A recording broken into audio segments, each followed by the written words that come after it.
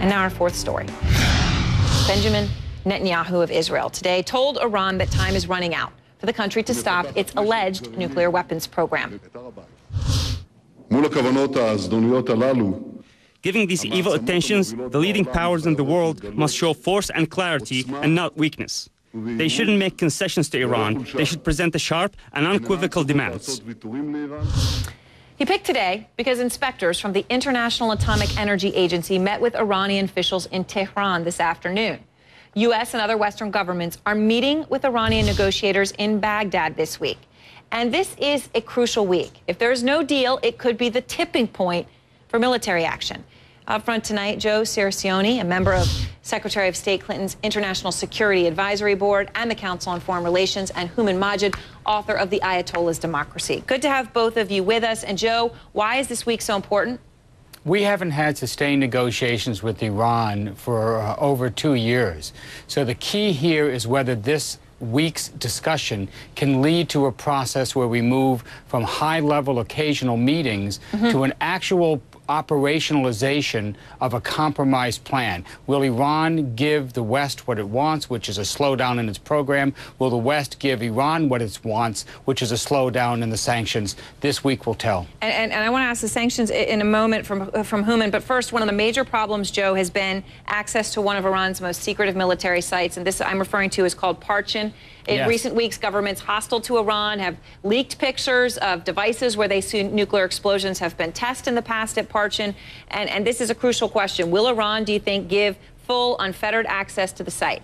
Right. Well, not nuclear explosions tested, but it's possible that they were constructing a site to test some components of a nuclear device. It's a military site. IAE inspectors are there today. They want to have access to the site. Just Director General Amano was optimistic about the possibility of getting a deal. Mm -hmm. We'll know in about 24 hours. Uh, this is part of what Iran has to do to begin to restore some confidence that their program is indeed for peaceful uses, right. as they claim, and to extend the warning time should they break out of the IAEA inspection process. And, and, and Hooman, what I'm referring to is an AP report, which they said was leaked to a government yes, hostile to correct. Iran, that had this device that they said was there. Um, but, but the question is, if there's nothing to hide, which Iran says there is nothing to hide, why not just give full access and shut everybody up about the satellite pictures of the site and what's there and what isn't there? Well, I think there. I mean, I think Iran wants to act, be treated like every other country in the world with a certain amount of respect. Mm -hmm. um, that's what they say anyway. Right. And and if they give immediately give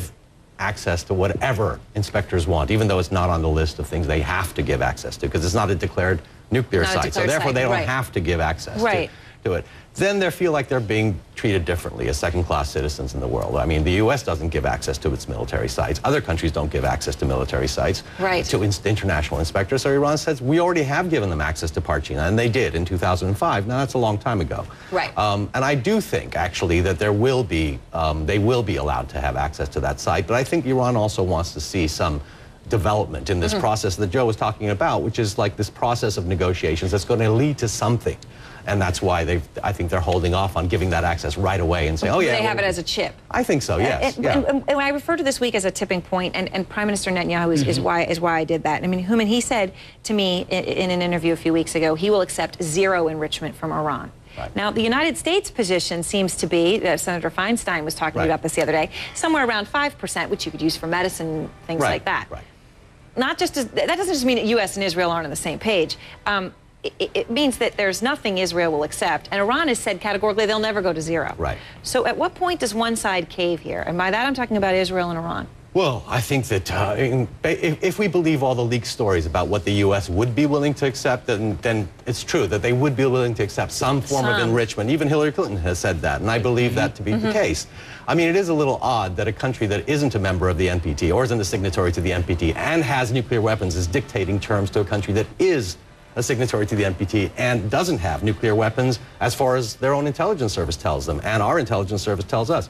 So I think that's a little strange. I think they're mm -hmm. trying to put pressure on the U.S. more than they are on Iran to try to get the U.S. to not, back them. Well, to back them and also to not make a deal that the Israelis would be uncomfortable with at this point, because and it does appear that there is some there is some space between Israel and Iran on what they feel is acceptable for Iran to have. And, and, and Joe, a, a, a, crucial question and a, fi a, final question here. Iran has said uh, they really want these sanctions rolled back. The toughest sanctions have not yet taken effect. Um, it seems from people I've talked to in Washington that there is no appetite in the U.S. to roll those back. I mean, is that your your interpretation, or would the U.S. consider softening those sanctions uh, this summer, which obviously could could result in Israel making a, a choice that the U.S. doesn't want them to make?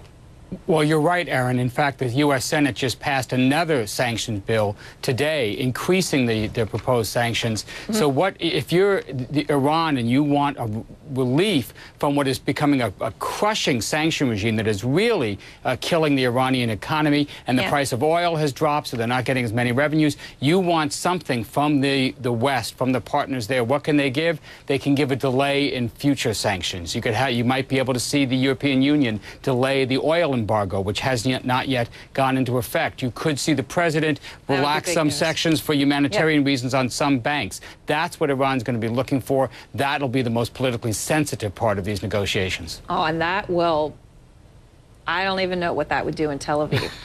okay, thanks to both of you.